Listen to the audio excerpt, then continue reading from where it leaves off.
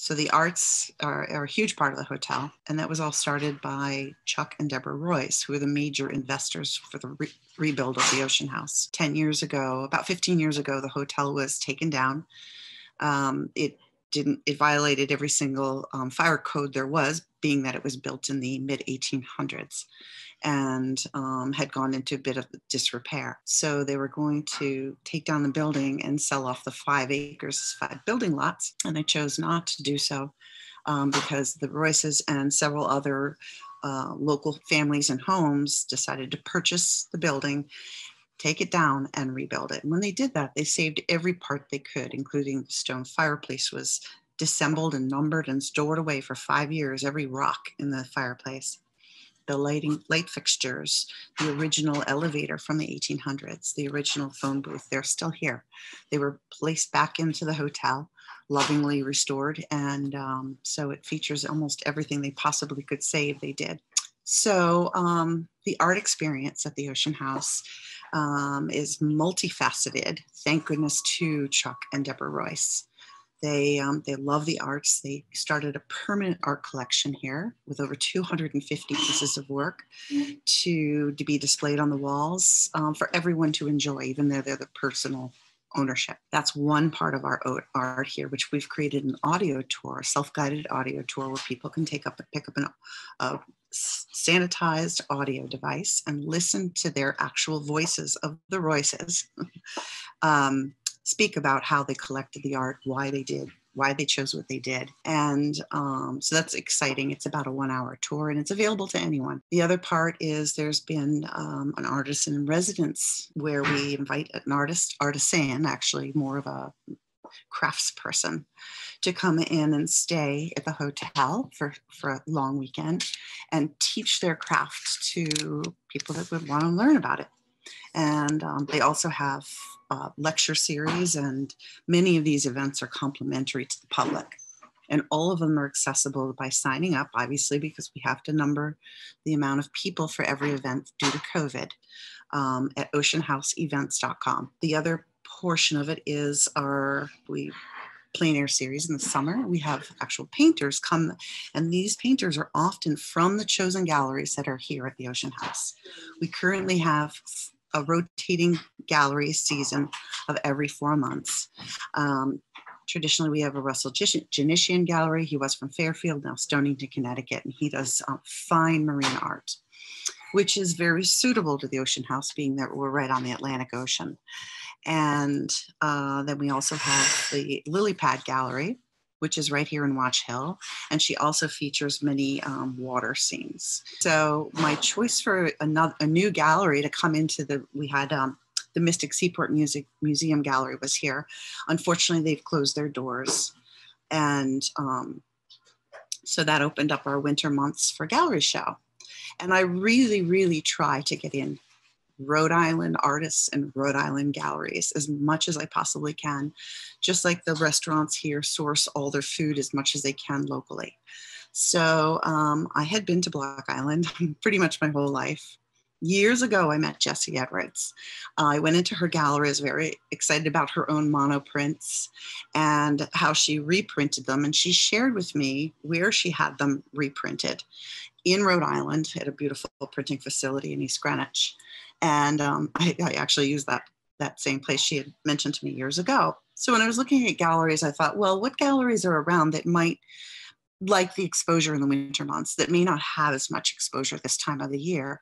And that's where it came to mind that I might reach out to her and see if she had some artists and and her work is beautiful that all her artists that she have is the same theme it's ocean and waves and um, and and then of course we have seasonal art as well. And being that this is we're february going into march i like to promote spring. And it's always nice for people to see. So our show is a combination of beautiful landscapes and seascapes and the landscapes are more spring like less winter. This is what everybody's looking forward to and it lightens up the halls, um, the public spaces of the hotel. The guests and the people that live here, there are many uh, condominiums here that people have ownership are thrilled to see the shells change.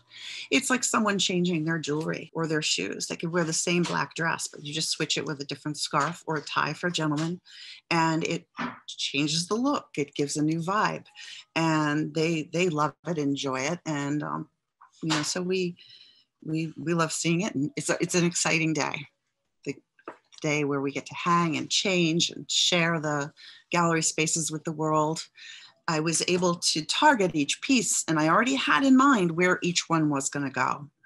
There's some darker spaces that need a bright, fun painting. Like there's a, the small one of the smaller paintings is a little bit of uh, vase of yellow roses by Marilyn Bogdanffy. It's a little nook in the in the hallway, but it, we put installed a light over it, and it just pops the entire space. is brilliant with the yellow and the black, and the doors are actually yellow and brass or black with brass handles. It all coordinates, and then some of the other paintings and I, what I've been sharing with um, some of the staff here before even the public gets to see it. It's, there's a true love story going on here with this collection. And I'm not sure if you're familiar about the love story, but the woman I just mentioned, Marilyn Bogdanffy, is um, married to Peter Gish. And Peter Gish, I've been a longtime fan of. I met him in Rhode Island years ago, and he lives on Block Island, I think, or he was in Saunderstown, but he, he all of his um, paintings are of Block Island and the cliffs and the ocean. And he's just fun and colorful and not afraid to use color and make it bright and happy and exciting and lots of movement. And it turns out that this other featured artist, Marilyn, and he were married just, I believe, a year ago. And they are both having birthdays in a few weeks in March, and she will be turning 90 and he will be turning 95. And there they are, exciting paintings with this beautiful love story, opposing walls in the hallways of the Ocean House. It's it's it's fun. It makes for a story when guests walk by. When I share it with our staff, and they're walking guests to their uh, their rooms or the or the or the restaurant, they hear a little pieces of these stories and they absolutely love it because then they engage with the piece.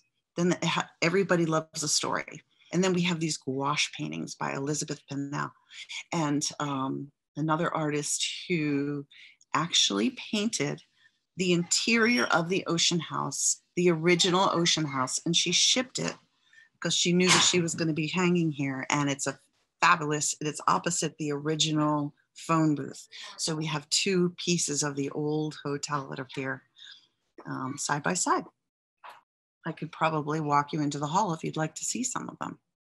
But right outside of this room that I'm in is a deck overlooking the ocean. And it's foggy, but normally you would see Block Island right there.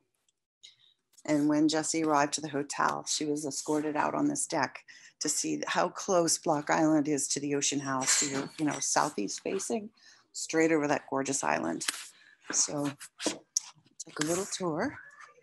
And actually, one of the most exciting paintings is right outside of this clubroom, which you can see is beautiful varnished wood everywhere, like the interior of a yacht, which it was intended to be. As um, Marilyn Bogdanffy needed this beautiful painting, there's a restaurant on Block Island called The Oar. And we have this very large three by four foot painting of the oars. And down the foyer here, we have some ocean paintings. Um, these are some seascapes. Yes. This is the beautiful roses I had mentioned glowing in this little foyer. And then this is another Peter Gish painting. And then you can see down here, we have a model, which is how the guests find the entrance down to the spa. This is um, Bogdanffy, an opposite wall is her husband, Peter Gish. Another beautiful ocean scene. And interesting enough, the ocean scenes lead to a stairwell to the spa, which is covered with ocean liners. So it's all sort of the same theme. Our theme here at the hotel, especially in the winter months, is that when someone comes here, it's like a cruise ship. They can do pretty much everything. We have culinary classes and wine tastings. We have these art programs, we have movie theater, we have a scavenger hunt for children, which is another artistic um, adventure. They find little painted scenes in some of the um, elevators and floors. They'll see little dollar, dollar bills. And let's see where else we have. This is um, another beautiful painting by a Block Island artist. This is Tom Martinelli, very large painting. He's a Newport artist that is featured in Block Island as well. That's oil and wax. It has a very 3D effect. So it's a fun place to be with all the arts, food, dining, um, drinks, scavenger hunts, um, painting classes, and lots of excitement.